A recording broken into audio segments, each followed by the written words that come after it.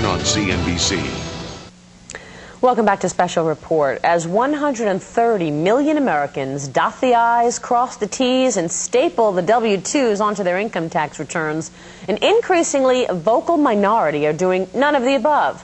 Using an argument known as the 861 position, these non-taxpayers, as they refer to themselves, are not paying an increasing share of the $300 billion that the IRS claims tax cheats cost the U.S. government every year.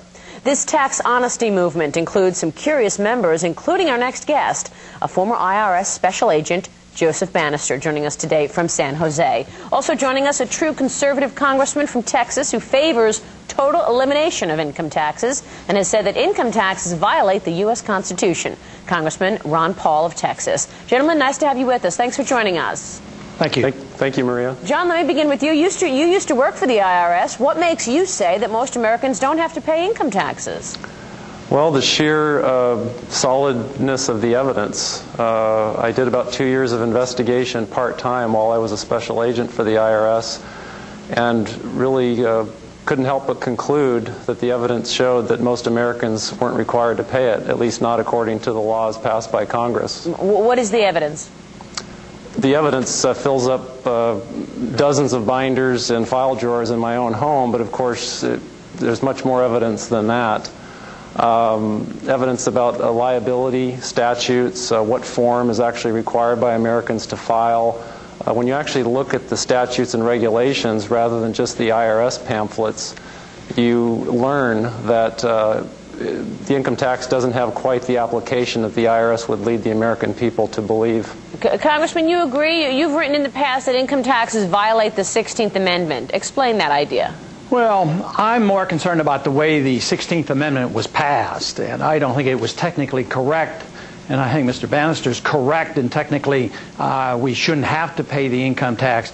It's just that I've chosen a different tactic. I think that we should change it in a uh, more uh, deliberate fashion, and that's why I'm a legislator. Uh, but, you know, we have the tax problem, and it's going to be with us for a long time, but but this is a consequence of the spending problem. So that's why I spend as much time on trying to cut the spending so there's no incentive to, to, collect these taxes. That's our, that's our biggest problem. But the way the tax system is run, it's run roughshod over the people. Uh, we don't have due process of law. We're guilty until proven innocent. It's just, it's just a horrible system, and we have to do something. Even if we can't get to the point where I like, where there's a lot less spending, we at least have to collect revenues in a much better manner than the income tax. So do you sympathize with the estimated 1 million Americans who don't pay taxes based on principle? Well, yeah, I sympathize them with them because uh, I know what they're up against. Some of them do it out of desperation. Some of them do it as part time just to survive, to feed their families. And economically, they serve the country well because uh, they they have more income, they spend more money. But that means you're defying the law, and that's a challenge, and you have to depend on the courts. And I just haven't chosen to do it that way. I'd like to legalize what they're doing. Well, you're certainly not going to have much success as far as cutting spending over the next couple of years years, right, with this administration? Oh, unfortunately, you're you're correct. I mean, we're back into the 1960s, uh, uh, guns and butter, and there's not an entitlement that this Congress and this administration doesn't like, and there's not a foreign adventure that we, they seem to not to dislike. So we're we're embarked on un- endless spending, which means that's why right now you hear stories about adding more funds to the IRS, being more ruthless in collection, blaming it on the taxpayers if they'd only pay their fair share, we could afford this government. But when you're running a $700 billion deficit, believe me, a little tinkering with the tax code isn't going to satisfy them. Yeah. L- let me read you what the IRS had on its website just a couple of weeks ago, get you both to respond to this. It, it said the IRS is committed to identifying taxpayers who attempt to avoid their tax obligations by taking fr- frivolous positions such as the Section 861 position. The service will take vigorous enforcement action against these taxpayers and against promoters and return preparers who assist taxpayers in taking these frivolous positions. That was uh, posted on March 22nd, 2004. Joe, would you describe the IRS's approach to you as uh, vigorous? Uh, most certainly. The thing is that in my own manuals back when I was a special agent, the IRS uh, they compared tax avoidance to tax evasion, and tax avoidance, even according to the courts, is a legal uh, method and something that people have a legal right and duty to engage in.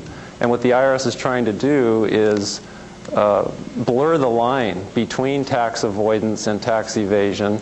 And now they come up with this new term called abusive tax avoidance. So basically, Americans are going to be uh, targeted for harassment if they're engaging in a legal in legal conduct and making it difficult for the IRS by not bearing their financial souls to the agency. Uh, it, it, seems pretty aggressive. Why, why do you think you've been able to get away with not paying or filing your income taxes for so long? Well, first of all, I've not gotten away with anything. I'm not hiding from anyone.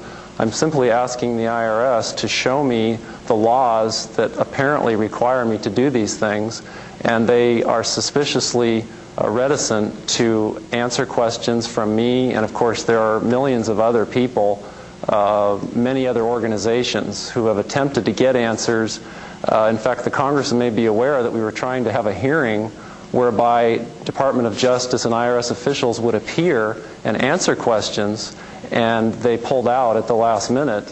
And uh, so they act very suspiciously when asked to simply sit down at the table with the American people and discuss what their obligations are. Rather than pulling up a chair, they pull out a club. Yeah, that's really interesting, Joe. And, and Congressman, we also should add that the New York Times reported just today that for the 11,000 largest corporations, the chance of an audit has fallen by almost 50% in the last decade. The decline for individuals is even uh, similar to that. Yeah, I think that's going to change. They're going to try uh, to reverse that, and that's why they've gotten more funds and more agents, and they guarantee there will be more audits. But there's no way that they can mon monitor the whole system. The system, in many ways, is based on trust and confidence that the American people are doing the right thing and spending the money correctly. But now there's a growing number of Americans that are sick and tired of it all. They don't believe that the entitlement system is going to work for everybody, and they don't believe in a lot of this foreign spending. So they're getting disgusted with it, and I think more people are trying to opt out. So ultimately, we have to face up to the fact that our government is too big and the spending is out of control, and the tax authorities are becoming out of control as well because they're determined to collect the revenues. And the Congress is silent on this now. A few years ago, they were up in uproar. They were going to tame the IRS, and for about six months that happened. But right now, the Congress, they're desperate. They're spending the money, and they want to cover some of these deficits, and that's why they are not fighting the increased role of the IRS now is going to become more ruthless in the next year or two. All right, gentlemen, good to talk to you. This, uh, this situation no doubt goes on, and we will uh, look forward to having you back to continue discussing it. Thank, Thank you. you, Maria. My thanks to Congressman Ron Paul of Texas and Joseph Banister, who joined us today from San Jose. We'll Thank be right you. back with more special report in just a minute.